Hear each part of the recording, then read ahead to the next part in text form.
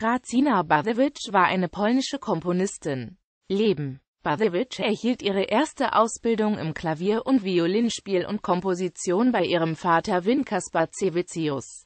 Sie trat bereits als Kind auf und komponierte ihr erstes Werk im Alter von 13 Jahren.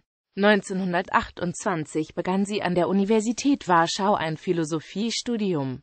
Am Konservatorium der Musikakademie Warschau studierte sie Komposition bei Kazimierz Sikorski, Violine bei Józef Jarzebski und Klavier bei Jan Toczynski. Seit Anfang der 1930er Jahre studierte sie in Paris Komposition bei Nadia Boulanger und Violine bei André Touret und Karl Flesch. Von 1934 bis 1935 und nach 1945 unterrichtete sie am Konservatorium in Lodz, danach lebte sie in Warschau.